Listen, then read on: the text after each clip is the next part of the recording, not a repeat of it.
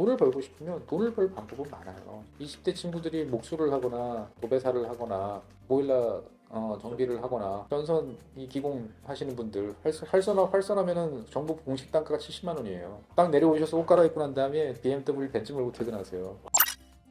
안녕하십니까 법무법인 유천의 최준영 전문위원입니다. 저처럼 유튜브로 보는 사람들은 세계 외교 전문가로 이해를 하니까. 그러니까 이제 뭐 평생의 이제 취미 생활이라고 하나 뭐 관심사 남자들은 대부분 다 그런 걸 좋아하는데 이제 전쟁, 어 전쟁사 그런 것들을 보다 보면 전쟁이라는 게 누가 이기고 누가 지고 어떤 장군, 어 영웅 뭐 이런 것들을 이제 관심을 두다가 자연스럽게 한쪽으로 가면 개별 무기 그런 전쟁이 왜 일어나고 어떻게 끝났는지에 대한 관계 쪽으로 갈 수도 있고 다른 한편으로는 전쟁을 어떻게 그렇게 오랫동안 지속을 할수 있었는지 어디서 돈이 났는지 등등에 대해서 가다 보면 이제 경제나 이제 사회 시스템 쪽으로 이제 갈 수도 있죠. 이제 이런 뭐 관심사들은 사실 그냥 취미생활 비슷하게 됐는데 그러다가 이제 2007년에 제가 이제 국회 입법조사처에 입사를 하게 됐는데 뭐 환경 쪽 이제 업무를 하- 하지만 그 중에 하나가 이제 기후 변화 관련 이제 업무였어요. 기후 변화라는 업무를 하다 보면 필연적으로 매년 연말에 이제 기후 변화 협상, 뭐 유엔 어, 기후 변화 협약 당사국 총회라고 하는 이것들을 매년 이제 합니다. 협상이 어떻게 진전이 돼서 어떤 결론이 냈고 그게 우리한테는 어떤 영향이 미치는지에 대해서 또 보고서를 또 내야 되죠. 그러니까 그런 일을 꾸준히 하다 보면 필연적으로 이제 그런 협상 과정에 대해서 이제 들여다 보게 되는 거고 협상이라는 게 이제 뭐 유엔 회원국들이 다 동등한 자격에서 참가하는 것처럼 보이지만 실제로 보면은 그룹을 지어서 어, 주요 세력권 어, 역학 관계를 이제 하는 어떤 그런 이제 구조들이 형성이 된다는 걸 이해를 하게 됐고 기후 변화를 하니까 뭐 탈탄소 뭐 이런 쪽 그러면 이제 에너지 쪽도 알아야 되고 이제 에너지 전환과 관련된 이야기도 해야 되고 이를테면 전기차 이야기도 해야 되는 이제 이런 상황이 생기는데 2016년 17년을 보면서 야 전기차가 뭔가 될 것 같은데 어, 핵심은 배터리네 배터리의 근데 원료는 코발트가 어디서 나지? 예. 그래서 이제 콩고 민주공화국이라는 나라에 대해서 관심을 가지게 됐는데 이런 이제 호기심을 갖고 자료를 찾다 보면 사진들을 접하는 거죠.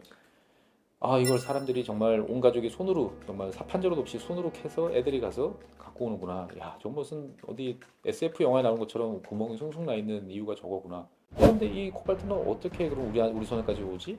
라고 해서 조금만 더 그 찾아보면 어김없이 등장하는 중국인들의 모습들이 보여요. 아프리카 사람들이 손톱이 깨지도록 손으로 하는 게 결국은 음, 중국 사람의 손에 들어가서 그것들이 아프리카 대륙에서 인도양을 건너서 중국에 어떻든 오고 중국이라는 나라에서 그것들을 정제를 하고 재련을 해서 원료 상태로 판다. 아 그러면 우리가 미래의 먹거리라고 할 수 있는 이런 핵심 산업에 대해서 되게 안보적으로 위협한 거 아닌가?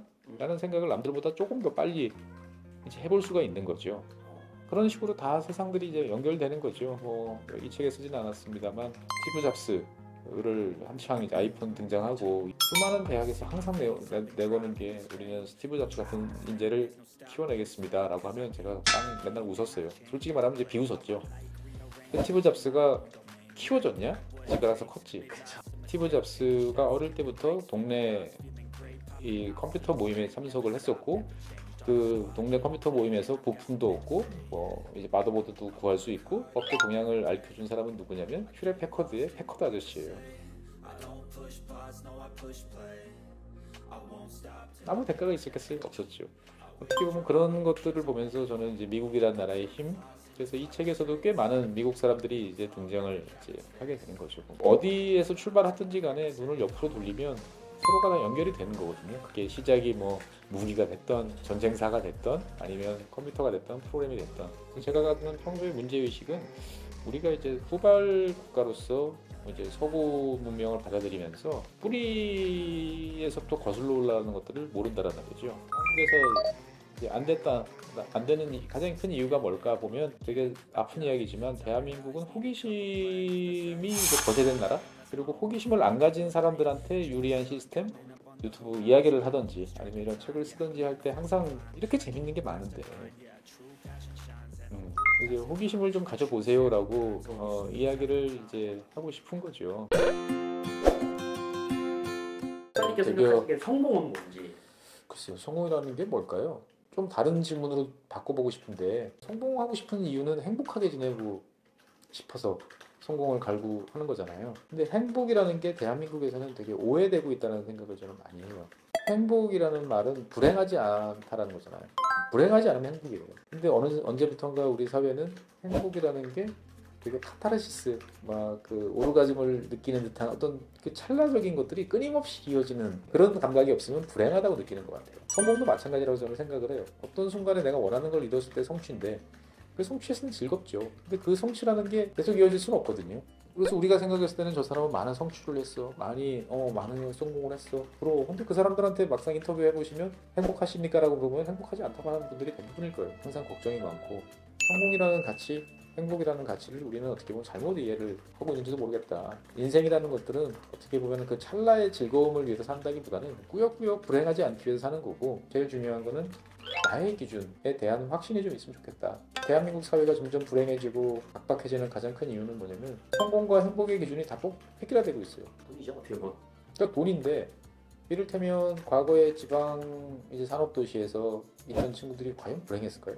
어떻게 보면 단순 작업이라는 거는 마음이 편해요. 머리가 단순해 머리가 비워지기 때문이죠. 동- 공장 동료들하고 소주 한잔 하고 주말에 공 차고 낚시하고 나쁠까요? 그런데 인터넷에 보고 스마트폰에 보고 SNS에 보고를 통하면서 기준이라는 게 다 똑같아지는 거죠. 여름철이 되면 망고 빙수를 먹으러 가야 되고 봄철이 되면 딸기 뷔페에 가야 되고 모두가 똑같은 기준을 찾기 시작을 하면 내가 원래 행복했던 그 기준이라는 건 사라지면서 남한테 맞추려고 불행해지는 거죠. 비교를 안 하려고 해도 안 할 수가 없는 그렇죠. 적당한 비교는 인생의 활력이죠. 그 비교를 도대체 어디까지 쫓아가고 싶은 것인지 하려고 그러면 나 혼자만 하지. 음, 아, 뭐 가령 이를테면 서울 부동산 급지, 뭐 1등 급지부터 뭐 5등 급지까지 하는데 요즘엔 소수점까지 나와요. 1.1, 1.2, 1.3. 그러니까 이게 보면은 학생들 내신이나 수능할 때 이제 급간 소수점 단위로 하는 그걸 그대로 이제 그 세대가 나온 거죠. 돈을 벌고 싶으면 돈을 벌 방법은 많아요. 20대 친구들이 목수를 하거나 도배사를 하거나 보일러 어, 정비를 하거나 여기 전, 전선 이 기공 하시는 분들 활선, 활선화 활선하면은 정부 공식 단가가 70만 원이에요. 그분들 이렇게 막 고무장갑 끼고 막 이렇게 위에 가시죠. 딱 내려오셔서 옷 갈아입고 난 다음에 BMW 벤츠 몰고 퇴근하세요. 돈 많이 버는 자리를 원하면 그렇게 가든지 그 나를 물론 사람의 본능이긴 하지만 내가 좋아하면 좋은 거고 좋아하면 보이고 잘하고 싶은 생각도 들고. 예 그러면 그게 그렇게 괴롭지가 않은 거죠. 우리가 네 지금까지 긴 이야기 들어주셔서 대단히 감사하고요. 어, 언제라도 어, 여러분들이 궁금하시거나 듣고 싶은 새로운 사실들에 관한 궁금한 사항이 있으면 지구본 연구소 유튜브 채널에 어, 댓글로 남겨주시면 제가 친절하게 답해드리도록 하겠습니다. 언제까지나 행복하고 건강하게 지내시길 기원드립니다. 감사합니다.